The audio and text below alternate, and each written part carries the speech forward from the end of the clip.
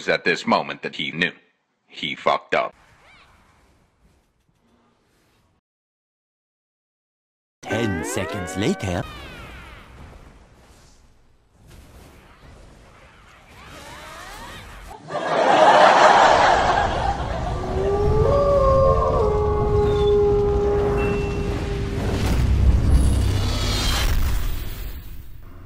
Hey guys, Aiden here with a new video. Also, we got our own personal code to go with said video that we will be introducing shortly. and by shortly, I mean at the end of the video.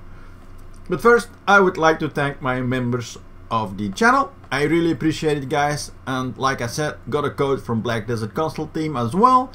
Probably gonna be crons though, but we all like free stuff. So Thank you Black Desert Console for providing me with one. Now onto the video, they sure as hell added a few things in this patch. Sadly, no Guardian of Caphras, but uh, it might be a good time to hunt those world bosses and if you're like me and be like, world what? I, I don't think I've done one of these world bosses in the past six months. So uh, I went and killed a few uh, of them and yeah, it stays at uh, ring what? Where? Now, just make sure you drop a few alts at boss locations and hit them once and then just hide and it's gonna be... You'll probably get one at some point. I'm gonna do the same thing.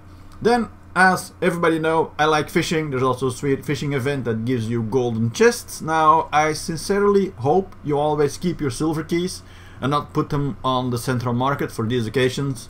I just keep mine in my vault.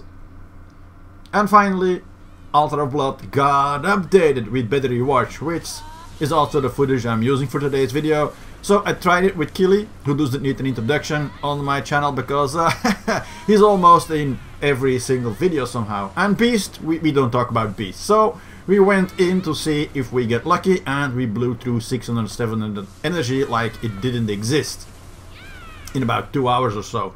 And well, I got an armor box. A dry one. and it, it, it was Lemuria. So I had to take a shower after the altar because I kind of felt dirty. Try Lemuria, definitely the game's way of trying to kill me.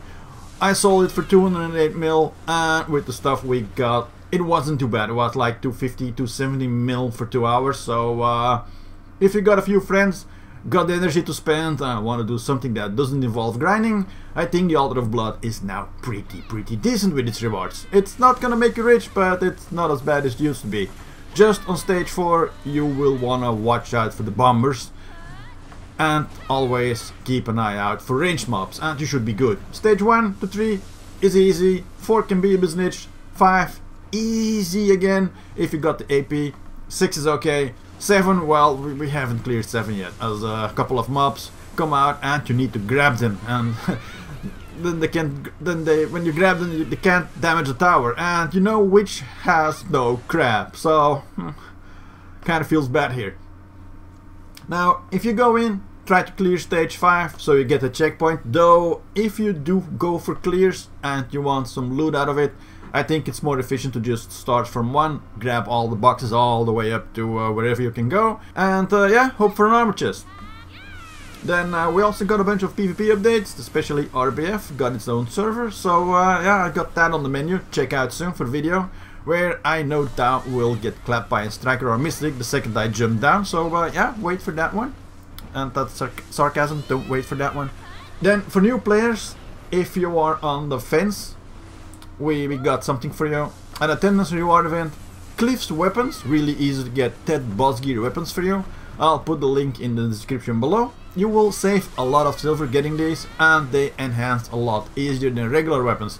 Just make sure to open them on a class that you actually want to play and if you don't know yet, put them in the vault for a later day.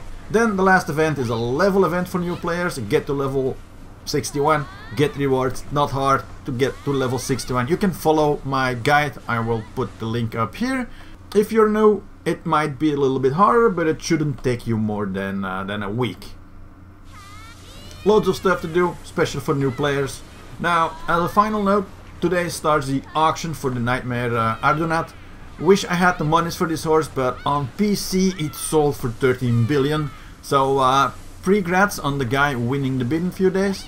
And having a one-of-a-kind horsing game. Now, onto the code, I've kept you all waiting long enough for it. It is Iron Wolf Loves BDC.